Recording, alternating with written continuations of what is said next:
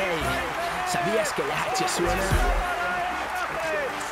2000. Buenos días, bienvenidos a todos. Gracias por, por venir. En primer lugar, agradecer a Gonzalo por dejarnos su casa otra vez aquí en el Cortijo de Tápara para hacer una presentación de, yo creo que es una pieza fundamental en el club, que es el director deportivo, director general del club, eh, Alberto Blanco, que bueno, mm, el currículum suyo no lo voy a decir porque ya lo habéis publicado casi todo en, vuestro, en vuestros medios, sabéis lo que es, una persona con una experiencia importantísima tanto nacional como internacional. Creemos que era la, la persona idónea para estar con nosotros y por mi parte nada, darle la bienvenida, que esté a gusto, que trabaje fuerte porque será bien para el club y bien para todos y nada, mm, intentar darle como siempre hemos hecho todas las facilidades y darle todo el cariño que podemos dentro del club para que él esté a gusto y trabaje bien. Y nada más, por mi parte, eso, que empezamos la temporada, que el club, aunque no ya han salido muchas noticias últimamente, ha estado trabajando, como veis, mm, por ejemplo, en el caso de Alberto, que era la parte que, más prisa nos corría, ¿no? Eh, de todas formas, ha seguido trabajando en remuneraciones de jugadores, de Roberto, y tal. Y estamos trabajando y, seguramente dentro de poco habrá más noticias. Eh, ahora, por nuestra parte, eh, pedir a la afición que ahora ellos sean los que eh, pues nos den esa chuchón que, nos falta siempre, porque desde luego el club se está trabajando seriamente para intentar pues, estar como el año pasado y, luchar como decimos el año pasado con toda nuestra fuerza y con el equipo que van a hacer tanto Roberto como Alberto. Pues nada más, Alberto, por mi parte, bienvenido tanto al club como a la ciudad y espero que estés a gusto con nosotros y sea duradero. Muchas gracias. ¿Qué habéis, valorado, Alberto, eh, para, el?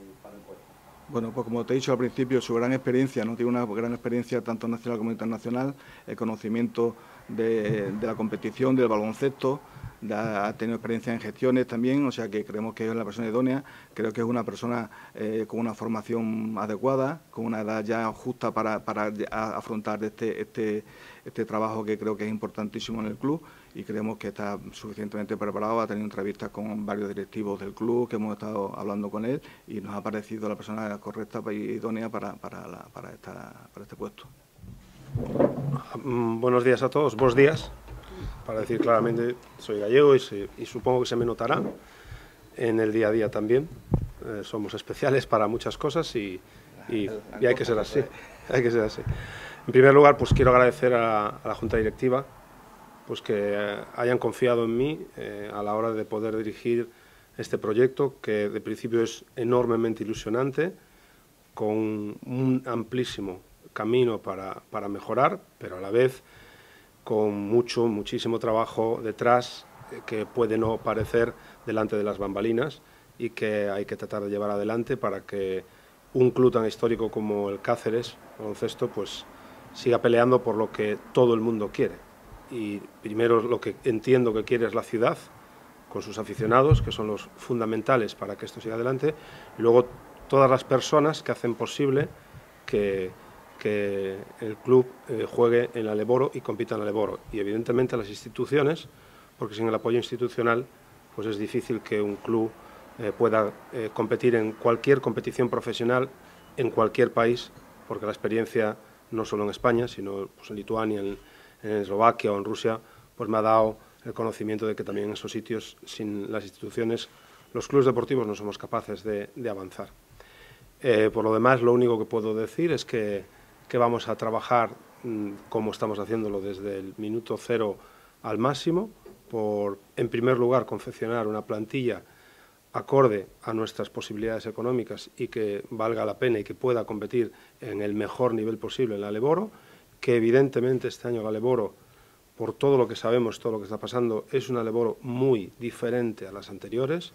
El mercado eh, de jugadores, de todo lo que está sucediendo, ha cambiado por completo con la presencia de tres equipos ACB o ex ACB con una potencia económica y, todo lo que podéis imaginar encima de la mesa.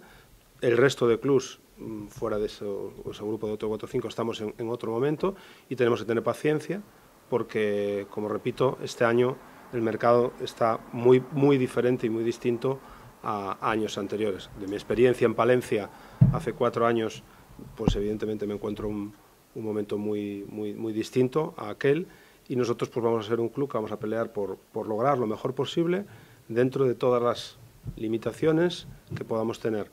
Eh, quiero ser y quiero ser bien claro para que dejarlo desde el primer momento encima de la mesa. El objetivo del club es mantenerse, es la permanencia, es seguir un año más en el Ebro. Somos modestos, pero somos ambiciosos. La temporada pasada fue buenísima a nivel deportivo y este año esperamos que la volvamos a repetir, porque eso yo creo que lo queremos todos. Pero también sabemos que la Leboro es una competición muy complicada, muy difícil. Hay momentos de, malas rachas, hay momentos de buenas rachas, y los equipos que llegan sin presión a los últimos o al último mes de competición, esos siempre son los equipos que triunfan, por experiencia y por historia. Así sucedió aquí también el año pasado. Entonces, creo que es algo que espero que entre todos, y me refiero a todos, todos los que formamos la familia del Cáceres Baloncesto, que somos eh, los que somos profesionales, la Junta Directiva, los aficionados, vosotros los medios de comunicación y en la ciudad de Cáceres en general, entienda que este es el objetivo que vamos a, a poner. Pelear desde el primer día, tener una característica como equipo muy clara, pelear primero por mantenernos y a partir de ahí todo lo que seamos capaces de lograr en la pista, porque no podemos renunciar a nada de principio. Por mi parte creo que es lo que os puedo decir en este primer día y que llevamos pues seis o siete días casi eh, como, como sin dormir porque la cantidad de trabajo y de, cosas que tenemos encima de la mesa pues, pues son, son brutales y, vamos a intentar cumplir con todo lo que podemos. Eh, me voy a tocar mucho la mesa. buenos días. Eh, por supuesto, darle las gracias a, Gonzalo por, recibirnos una vez más en su casa. Eh, creo que debo hacerlo, pero dar la bienvenida a, Alberto. la verdad es que para mí personalmente que él esté aquí es, eh, es un motivo de ilusión y alegría, porque eh, nuestra vida ya se cruzó hace tiempo y que volvamos a tener la oportunidad de estar juntos y, trabajar juntos, pues creo que, es un motivo, como digo, para, para estar muy contento de, cómo se ha sucedido todo. Eh, yo, por mi parte, yo refrendo cada una de las palabras de, Alberto, creo que como mínimo hablamos 20 veces al día. mi teléfono ya solo pone Alberto. y, la verdad es que eh, es, un placer trabajar con alguien que viene con tanta ilusión. Creo que se suma a un proyecto y a una idea de, de, construir y de generar ilusiones. Eh, como digo, refrendo cada una de sus palabras. Obviamente somos una somos una somos un equipo muy eh, muy ambicioso. Nosotros queremos llegar al máximo. hay que tener en cuenta eh, todo lo que hay por delante, todo lo que es la liga. Eh, nosotros queremos generar esa ilusión nueva, queremos, queremos mantener esa, esa llama viva, viva de la marea verde del año pasado. Eh, mm, tenemos que mirar siempre al frente y, con los pies en el suelo. ¿no? Mm, quiero, quiero que todo el mundo tenga claro que el equipo del año pasado ya lo disfrutamos y ahora viene otro Cáceres y ahora viene otro equipo. Y, y, solo espero que, que la gente que, que se fue sumando y que al final confíe en nosotros el año pasado, eh, empiece con la misma confianza porque lo que se consiguió a, base de trabajo y ya os puedo asegurar que trabajo se está, se está haciendo y mucho desde la, Junta Directiva, eh, con un grandísimo esfuerzo, entre otros, trayendo a Alberto aquí y, ahora eh, nosotros juntos para, para que este Cáceres vuelva a ilusionar y, todos disfrutemos del multiuso, eh, con un año espectacular. Creo que la Lesboro mm, ya vuelve a ser catalogada entre las cinco mejores ligas de Europa. Creo que eso es un motivo de, alegría porque el Cáceres sigue estando en ella. Eh, yo no tengo mucho más que decir. ¿Alguna pregunta? Roberto o Alberto. no sé si nos puedes contar un poco si está muy avanzado la configuración del equipo, aparte de lo que se ha anunciado esta semana, o tenéis muchas. ¿Para mí o para Roberto? Eh, bueno, hemos estado... Sí, sí, claro, sí, me cambio. Gracias. Vale, ya ha acabado. Gracias. Eh, a ver, eh, sí, nosotros ya hemos hecho ya muchas gestiones. Eh, ya hemos tomado la decisión de dos o tres jugadores más que queremos incorporar a la plantilla eh, y las gestiones están hechas. Estamos esperando porque, como os decía, el mercado nos marca determinados ritmos. Pero mm, ha habido incluso un momento que nos hemos dicho, bueno, calma, porque vamos, vamos a mil por hora. Y entonces tampoco queremos apurarnos ahora mucho más. Mm, estamos simplemente pues esperando que algunas de las gestiones que hemos realizado acaben fructificando como, como esperamos. Eh, ¿Y la, idea es más o menos como el año pasado, digamos, mucho jugador polivalente, mucho jugador físico de pelea y tal? ¿Eso lo habéis, lo habéis hablado? Los perfiles, digamos. Es que no nos queda más remedio. Hacer una plantilla tan, tan, tan, corta, al tener una plantilla de 10 jugadores, eh, los, buscamos siempre la polivalencia como parte de la creación del equipo. Es difícil que tengamos, un, que tengamos muchos perfiles únicos porque nos dejaría, cualquier problema que sucede durante la temporada, lesiones, enfermedades, cualquier cosa que pasa, nos dejaría cojos en algún sitio. ¿no? Y entonces yo creo que buscar polivalencia en la creación de una plantilla es fundamental.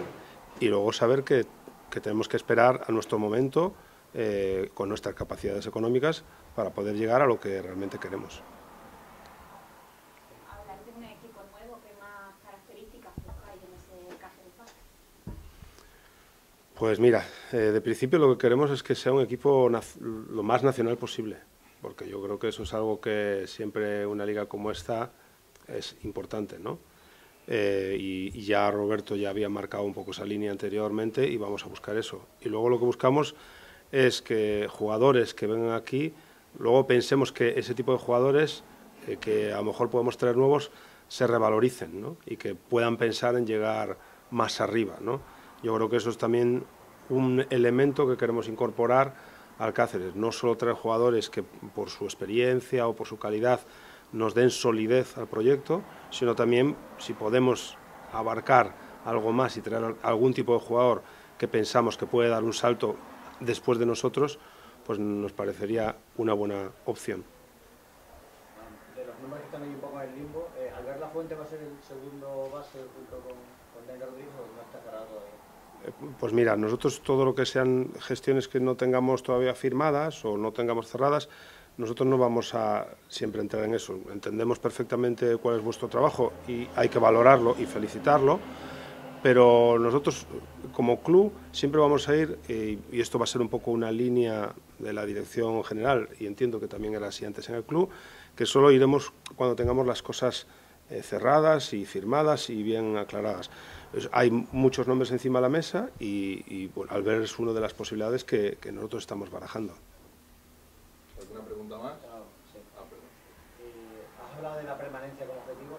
¿Está relacionado eso con el el presupuesto del que disponéis para, para, hacer la plantilla? Muy relacionada, muy relacionada, claro, porque hay que ser honestos, nosotros somos uno de los cinco presupuestos más justos de la más, eh, más normales de la liga porque es que la liga ha cambiado mucho, lo decía al principio, es que de hace tres años aquí esto es una liga completamente distinta y nuestro presupuesto se ajusta a lo normal de una competición como esta y no es nada tampoco nuevo, ¿no? Es decir, el club siempre se mantiene en esa línea y vamos a tratar de, seguir con la seguridad y con la tranquilidad de no cometer errores en ese nivel, porque la supervivencia y, la, el, saneamiento eh, continuo del club, eso es fundamental. Por eso hemos dicho ya alguna vez que es muy importante que la gente, pues lo ha dicho Roberto, lo ha dicho el presidente, nos apoye, porque el equipo necesita arrope desde las gradas, pero el club también necesita una inyección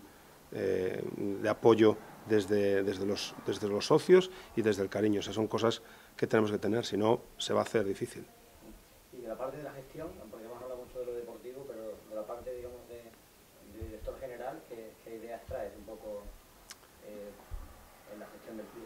Bueno, primero, eh, evidentemente, cuando llegué al club me, me di cuenta, que yo no lo sabía, que la directiva del club eh, son empresarios muy importantes este, de, esta ciudad, con lo cual esto fue la, primera y gratísima sorpresa que me encontré. Es decir, personas que son empresarios de esta ciudad, que son muy conocidos en esta ciudad y que llevan muchos años eh, empujando para que este barco vaya para adelante. Entonces, también sabemos cuál es la capacidad de Cáceres a nivel eh, de gestión de marketing comercial y vamos a intentar ampliar algunas de nuestras posibilidades e intentar recuperar otras.